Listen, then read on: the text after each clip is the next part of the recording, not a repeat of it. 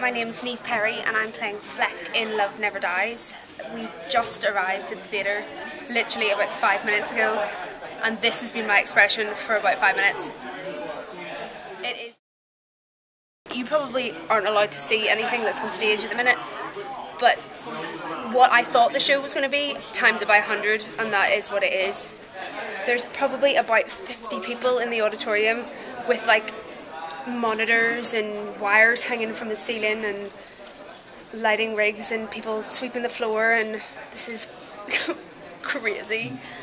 I can't believe it. It's been like a month of bizarre rehearsals in a rehearsal space somewhere else in London and we're all coming to the theatre tonight just to get a taste of what this is and it is going to exceed everyone's ex expectations by like a million percent.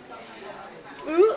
I'm so excited, and we all, where every single person from the cast will be here tomorrow afternoon to begin the tech from the very top of the show, which I'm in. So this is um, a big day for me. There's certain bits of the scenery that are incredible, and I can't believe it. Uh, I wish you could see it, but you can't. But I'll give you a, a little insight into a, a bit of scenery that plays a trick on the audience which I am involved in, which is going to take a lot of teching, but uh, it's it's beautiful.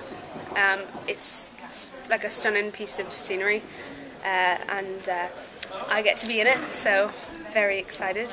Uh, so I, I had another fitting today for my um, another part of my costume, which is very much to do with uh, the trio with Gangle and Squelch and myself. Um, so I wish I could tell you everything, but I'm not allowed. Otherwise, I'd give all the secrets away. But Hi there, I'm Jami Reid Quarrell and I'm playing Gangle. Well, we've been shown around backstage, substage, theatre, uh, there's lots of obstacles, there's massive pieces of set that we've never seen that are very, very exciting. I was almost going to blurt out something, but I'll just keep that in for now. And there's about a million computer screens in every seat in the auditorium. I've never seen anything like it. It looks like a space station. You know, we've been in rehearsal mode. There was a buzz at the start of rehearsals, and then we sort of had the hard graft, and now we're, um, you know, making that shift from the rehearsal room to the theatre, and everyone's getting excited again. Um, my name is Sandra O'Brien and I'm head of hair and makeup. Um, today was the first time um, we actually put the makeup on myself and, this, and the other girl. It just went really well. We're really happy with that. We just need to get a bit faster at it. And um, as for wigs, that's getting there. It's quite a slow process because there's a lot of wigs. So there's six of us up in the department today, just churning them out. So yeah, no, it's going really, really well. I feel positive. We're on top of things. That's on Friday. so it's because you're bumping into everybody and they're saying, where's my dressing room? And as soon as you hear, where's my dressing room, you just think, oh, that's it. They'll be looking for the microwave. They'll be wondering where their hairspray is. So I'm locking the doors. Nobody's coming in. Hello, I'm Adam Pearce and I play the part of Squelch in Love Never Dies. And, uh, well, we're in the theatre the first day and it's immense, you know, I mean, there's new decor, it's stunning, the stage is up and it's looking gorgeous. Uh, we weren't allowed to go into dressing rooms, but I accidentally found my key and went into my dressing room, which is very good. Yeah, I'm Tom Oakley and I'm in the ensemble, stroke fire spinning, stroke lots of different things for uh, for Love Never Dies. And uh, yeah, it's the first time, first night.